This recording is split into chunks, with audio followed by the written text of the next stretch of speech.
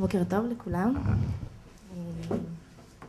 בזמן האחרון כולנו שומעים את הביטוי דיור בר השגה או דיור בהישג יד, אבל אני חושבת שבפועל אנחנו לא ממש מבינים למה הכוונה. היום כל גורם מפרש את המושג לפי מיטב הבנתו ובעיקר לפעמים לפי צרכיו. כך למשל הרשויות המקומיות מפרשות דיור בר השגה בעיקר כסיוע לזוגות צעירים. לעומת זאת משרד השיכון מפרש דיור בר השגה כהגדלת היצע הקרקע למגורים שלשיטתו תוביל להוזלת מחירי הדיור באופן כללי ועוד כהנה וכהנה פרשנויות. המטרה של הכנס היום היא להתחיל ליצוק תוכן ממשי לנושא של דיור בר השגה. בעשור האחרון מעורבותה של המדינה בשוק הדיור בכלים המוכרים הולכת ומצטמצמת, כך שהיום פועל משרד הבינוי והשיכון באמצעים מוגבלים לסייע לנזקקים ביותר. מספר המשפחות הזוכות לסיוע הולך ופוחת ואין בנייה חדשה לדיור ציבורי, בעוד שהמלאי הקיים הולך ונעלם. בית הוא אה, אה, לא מוצר, יש לו משמעות חברתית, יש לו משמעות עמוקה לחיים שלנו. בית יכול להיות מקור לתקווה, אבל גם יכול להיות מקור אה, לייאוש. דיור הוא תנאי בסיסי לקיום אנושי בכבוד, לביטחון אישי, אה, לשמירה על הבריאות, לקיום חיי משפחה, לפרטיות. אה, הדיור קובע במידה רבה מאוד איפה הילדים שלנו ילמדו ואם זה יהיה בית ספר טוב או שזה יהיה בית ספר פחות טוב, מה יהיה ההזדמנויות שלהם ואם יהיה להם שוויון הזדמנויות בחברה ומה יהיה אפשרויות התעסוקה שלנו אם בכלל נוכל למצוא תעסוקה. דיור קובע גם את הנגישות שלנו לשירותים, לתשתיות, למוסדות קהילה, דברים שהם מהותיים לחיים שלנו. כדי לממש את הזכות לדיור אנחנו רוצים הרבה יותר מאשר רק קורת גג. רוצים שהדיור לא יהיה על חשבון תרופות, על חשבון מזון או על חשבון חוגים לילדים, בטח שלא על דברים הרבה יותר בסיסיים. כשאנחנו מדברים על ההצדקה התיאורטית לדיור בר השגה תחום אחד הוא התחום של הערכים הסוציאליסטיים, הערכים הסוציאליסטיים שמצידם מולידים את הדיון גם בזכות לדיור וגם בזכות לעיר. אבל ממד אחר של ההצדקה התיאורטית לדיון בדיור בר השגה קשור לאופייה של העיר בכלל. ומהי העיר ולמה העיר יכולה להיות מקום טוב ומקום משמעותי. וכאן בעצם הדיון של הערכים הסוציאליסטיים נפגש עם הדיון העכשווי בשאלת יכולותיה של העיר ואיכויותיה של העיר. כוחה של העיר, כך אנחנו מבינים היום הרבה יותר מאשר בעבר, הוא במגוון שהיא מייצרת, בעירוב השימושים שהיא מייצרת ובעירוב האוכלוסיות שהיא מייצרת. העיר זה מקום שבו מגוון מאוד גדול של בני אדם יכולים להיפגש עם זה, זה מה שגורם להרבה מאוד אנשים בסופו של דבר לרצות להגיע לעיר. וכשאנחנו מדברים על דיור בר השגה, אנחנו מדברים על כך שאנחנו מאפשרים לקבוצות שונות של אוכלוסייה לחיות יחד. המושג דיור בהישג יד הוא מושג מתעתע.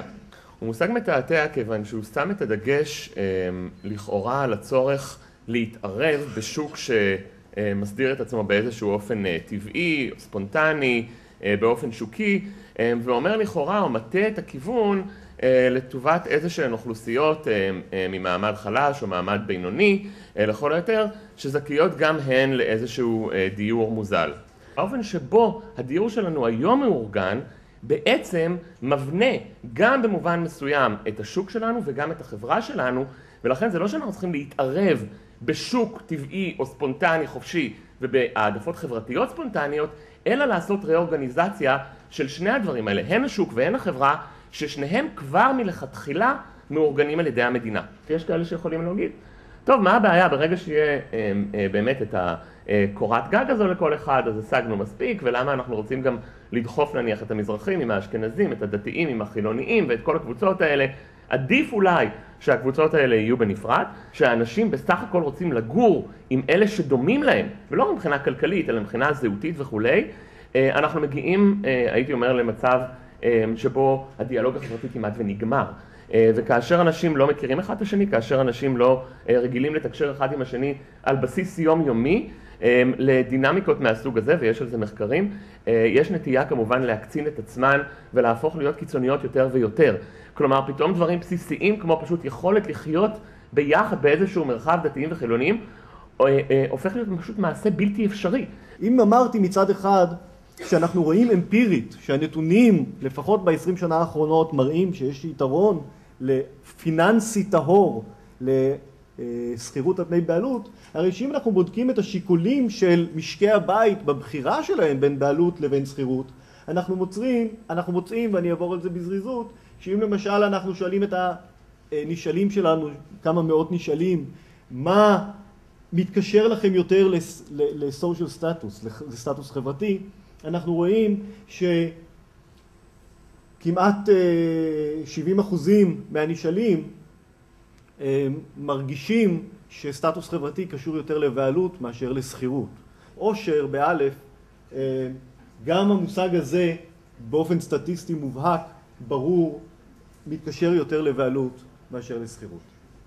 אני חושבת שהיום האתגרים שלנו הם לפחות בתחום של דיור בר השגה הם לפחות חמישה. ראשון, צריך לפתח מדיניות ארצית שעם חקיקה ארצית, עם תכנון ארצי, כדי שנוכל להבין מה הצרכים לדיור בר השגה ואיך אנחנו, באילו כלים ניתן לעבוד. הנושא השני הוא בא מלמטה והוא אומר אנחנו חייבים לגוון לא עוד פעם לבוא עם פתרון אחד שהוא מתאים לכל אזור. דבר שלישי, והוא עוד לא מפותח בכלל, זה הנושא של תמריצים כלכליים. הדברים האלו הם לא קורים לבד. הם חייבים איזושהי מעורבות של השוק, של המגזר הציבורי על מנת לתמרץ את היזם ואת הגוף הוולונטרי להיכנס לשוק. הרביעי מתוך החמישה זה עמותות. אנחנו חייבים לעזור לעמותות ולקהילות, להתארגנויות קהילות, לצמוח מלמטה ולקבוע לעצמם, להבין ולקבוע לעצמם מה הם הצרכים שלהם. ככה, עם ההתארגנות הקהילתית אנחנו מונים את הקושי של חוסר אימון בין התושב לבין היזם, בין התושב לבין הרשות. הנושא האחרון, מתוך החמישה נקודות שצריך להתקדם עליהן, זה הנושא האקדמי. הכנס הזה בעיניי הוא נפלא בזה שהוא מביא ביחד ידע חדש יש עוד הרבה מאוד ידע שאנחנו זקוקים לו. כל אלו ביחד, אני חושבת, החקיקה הארצית, הגיוון המקומי, התמריצים הכלכליים, העידוד של העמותות וכמובן, איך לא, המחקר האקדמי יכולים ביחד לעזור לנו להגיע לפתרונות בנושא של דיור בר השגה. כשמדברים על היד הנעלמה, היא כבר לא היד הנעלמה של השוק, היא איפה הממשלה מתחבאה מתחת למה שאנחנו רואים שכאילו הוא שוק. בואו נחפש את היד, היא היד האמיתית. כי יד, יד נעלמה היא בודדה, שוק הוא במקרה הטוב הרבה הרבה הרבה ידיים. אז בעצם השימוש בביטוי יד נעלמה, אנחנו צריכים להתחיל לחפש את היד הנעלמה שגורמת לעיוותים ו... ולשנות את העיוותים לכיוונים שאנחנו רוצים. אם כל רשות מקומית תבוא ותגיד אני עושה דיור בר השגה מבלי שהרגולטור הראשי, דהיינו הממשלה, היד הנעלמה, לא תבוא ותוביל את זה, אז אנחנו הולכים לכאוס ואנרכיה. ולכן, מה אני רוצה לומר? אני רוצה לומר שהממשלה חייבת להתכנס, חייבת, הכנסת, הממשלה, לחוקק חוק שנקרא דיור בר השגה, להכין תוכנית ולגבות אותה בחוק ובתקנות, ולבוא ולומר מה זה דיור בר השגה, למי זה מיועד, מי הרגולטור שמפקח על זה. ואני חושב שאחד הדברים הקלים ביותר ליישם בתחום של דיור בר השגה זה באמת אותם פרויקטים חדשים בשכונות חדשות, בערים השונות, שבאים ואומרים 20-30 אחוז יהיה מיועד לדיור בר השגה. זה הדבר הכי קל, הוא לא מצריך התערבות של הבנקים, הוא לא מצריך מימון, הוא לא מצריך עזרה מאף אחד, זה ווין ווין. זה דוגמה לסקטור פרטי שיכול להשתלב בעשייה חברתית. בנושא סיכון יזם אני לא רואה שוני בעת שבאים לבחון מימון של פרויקט של דיור בר השגה לעומת אה, פרויקט לשוק החופשי. כנ"ל לגבי כושר פיננסי. גם כושר פיננסי נדרש מאותו יזם בבנייה לדיור בר השגה, כי גם שם יכולות להיות סטיות תקציביות שבעת הצורך הוא יידרש להביא עוד הון עצמי או עוד מקורות עצמיים שלו. בנושא סיכון שוק, הייתי אומרת שלפחות לאותו חלק של דיור בר השגה, אפשר להגיד שיש ביקור, ביקוש כבוש. מאחר שאותם הדירות, אם זה למכירה ומחיר מסובסד במרכאות, או אם זה להשכרה מתחת למחיר שוק, סביר להניח שתידרש הגרלה ובטח יהיה waiting list לדירות האלה. אז לפחות לאותו חלק של דיור בר השגה, שזה יכול להיות 20 או 30 אחוז מהפרויקט, הביקוש הוא ביקוש קשיח. ואילו הסיכון שוק לגבי ה-70 אחוז הוא דומה מאשר לפרויקטים אחרים, אבל לגבי אותו מרכיב של דיור בר השגה, הייתי אומרת, הייתי קוראת לזה, כמו שאנחנו קוראים לזה במונחים אה, בנקאיים, אפשר לקרוא לזה מכירות מראש. אפשר להגיד שיזם בא עם 30 אחוז או 20 אחוז מכירות מראש, שזה נותן רמה מסוימת של ביטחון, של מקטין את האי ודאות. מה שאנחנו אה, עדיין לא אה, עשינו בתחום הדיור, אין לנו עדיין את האסטרטגיה הרביעית? וזה האסטרטגיה של ה-development. זה בעצם אסטרטגיה שאומרת שהארגון של החברה האזרחית, העמותה לצורך העניין, בעצם אה, עוסק בפיתוח, ביזמות. הופך להיות אה, יזם חברתי, קהילתי, לפיתוח משאבי דיור. והשמות שאנחנו נותנים לזה שככה רצים באוויר CDC, CDHI, Community Development Corporations, Community Development Housing Corporations, Community Housing Associations, זה זה, זה. הם כולם בעצם אה, חוסים תחת התפיסה הזו שאת היזמות אה, לא צריכים לעשות בהכרח רק השוק הפרטי, היזמים הפרטיים, אה, אלא בעצם גם עמותות אה, יכולות להיכנס לפעולות יזמיות של פיתוח דיור בהישג יד. ואם אנחנו יוצאים מתוך נקודת הנחה שמספר הקרקעות בישראל, המקור של הקרקעות הוא לא בלתי נדלה, אנחנו רוצים שדיור בר השגה לא יסתיים בטרנזקציה אחת. אמצעי פיקוח ובקרה, המטרה שלהם זה באמת לשמר מלאי של דיור בר השגה אה, לאורך שנים. ומטרה נוספת זה לפקח על המכירה העתידית, כך שמכירה עתידית תיעשה לזכאים, לאנשים שזכאים לדיור בר השגה, ובמחיר שהוא מחיר של דיור בר השגה. שאלת השאלות מי יפקח ובאיזה אופן יפקח התשובה לשתי השאלות האלה היא אה, מאוד אה, לא פשוטה במסגרת אה, המציאות, המנגנונים שקיימים היום במדינת ישראל. אנחנו צריכים מנגנון אחר שלא קיים. מה שאני רוצה בעצם להציע היום זה איזושהי קונסטרוקציה משפטית שהיא יכולה להיות מאוד אפקטיבית בנושא של פיקוח על דיור בר השגה. והקונסטרוקציה המשפטית הזאת היא אה, בעלות משותפת. זכות הבעלות המשותפת היא מטשטשת, זאת את ההבחנה המסורתית בין בעלות לשכירות, בין דיור ציבורי לדיור אה, פרטי. והחידוש של זכות הבעלות המשותפת הוא באמת בלקיחת החלק הארי של רווח ההון שנשמר ביחידת הדיור ובאופן כזה מאפשר להעביר את יחידת הדיור גם בעתיד לאוכלוסיות שהן יותר חלשות ובמחיר אה, נמוך יותר. המצב הסוציו-אקונומי ביפו מצב די קשה. אולי 60 אחוז אה, נתמכי רווחה, אה, רשימת הממתינים בדיור הציבורי כזכאי דיור של משרד הבינוי והשיכון למעלה מ-200 אם אני לא טועה, לא, התעדכנ, לא התעדכנתי במספר האחרון, אבל אגב המספרים האלה אנחנו שומעים אותם כבר עשר שנים. והרשימה הזו לא מתקדמת כי כמו שאתם יודעים לא, גם לא בונים דיור ציבורי. מנהל מקרקעי ישראל הוא בעצם הבעלים של מרבית הקרקעות אה, ביפו, גם, גם מחוץ ליפו. ויש החלטה אה, אסטרטגית, או לא יודע איך תקראו לה, אבל אה, מינהל מקרקעי ישראל אומר אה, בצורה הכי גלויה שיש, אנחנו משווקים את הקרקע לכל המרבה במחיר. אנחנו, יש לנו קרקע יקרה, רוצים לקבל עליה כסף. הדיירים המוגנים שיושבים עליה, שמשלמים לנו עשרה או עשרים שקלים בחודש, שזה כסף משלמים, לא מעניינים אותנו. בישיבה שהייתה לי אישית עם מנהל מקרקעי ישראל, עם מר ירון ביבי, למי שמכיר אותו, מנהל מחוז, מנהל אה, מנהל מקרקעי ישראל, אה, הוא קם ואמר משהו באופן הכי הוגן שיש, אני לא, הוא אומר לי כך, אני לא יודע מה זה דיור בר השגה, והוא צודק. הוא צודק כי אין, כי אין הגדרה חד משמעית. אני הייתי מגדירה, מגדירה שני מישורים סכמטיים למושג דיור בר השגה. אחד זה המישור הממלכתי ואחד זה המישור המקומי.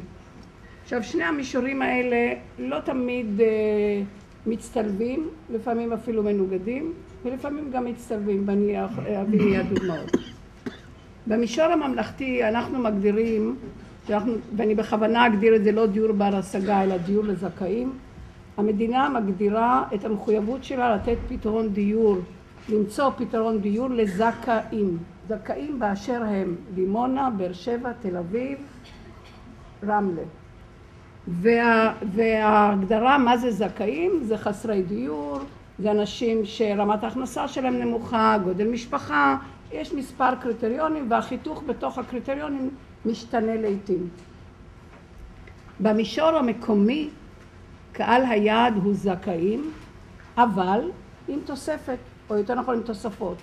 תושבי מקום, אנשים, אה, זוגות צעירים, אה, זוגות צעירים, אנשי הייטק, אומנים, אה, כל מיני הגדרות שכל רשות מקומית מגדירה בהתאם לצרכים ולבעיות שהיא מציפה כלפי עצמה.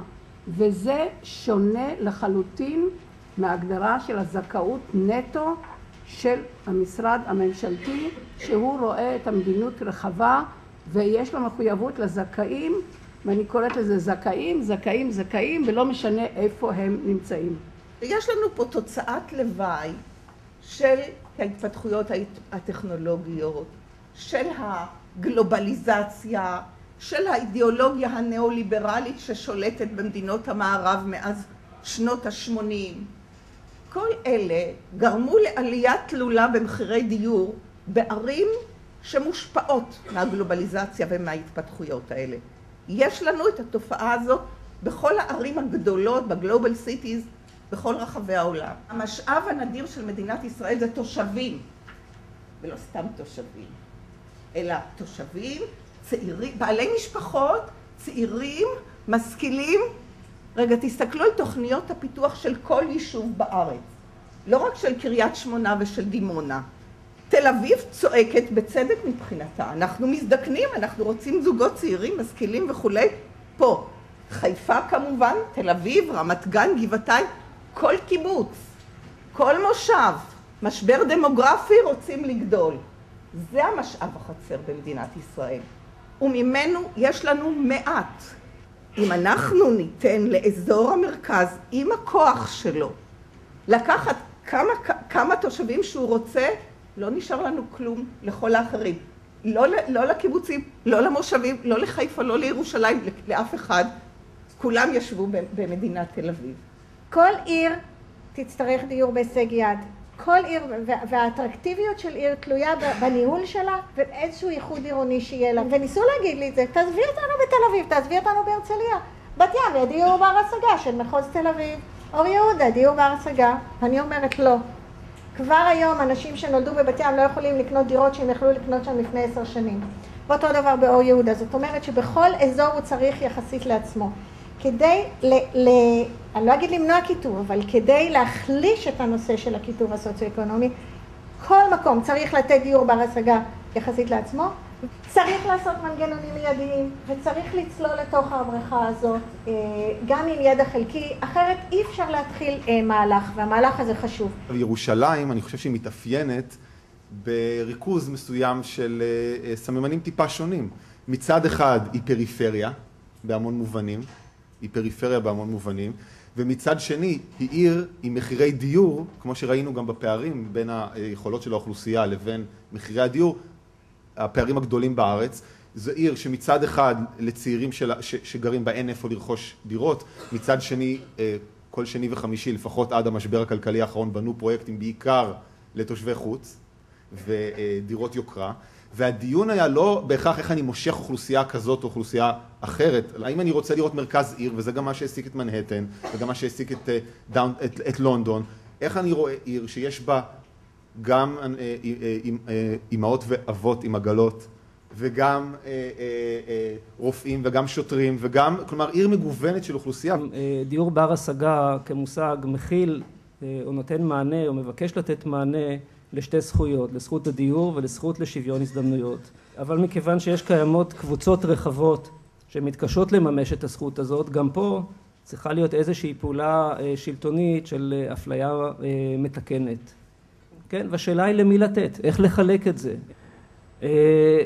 אחרי שיש מדיניות ואחרי שאנחנו יודעים תמונה כוללת ולמי צריך לתת מענה וכדומה וקובעים גם עדיפויות, יש גם את כלי המימוש. יש פה שרשרת ייצור של דיור שכוללת תכנון, קרקע, פיתוח, מיסוי, מימון ועוד ועוד וכל הכלי המימוש למעשה צריכים להתפתח ולתת מענה בכל אחד מהנושאים האלה.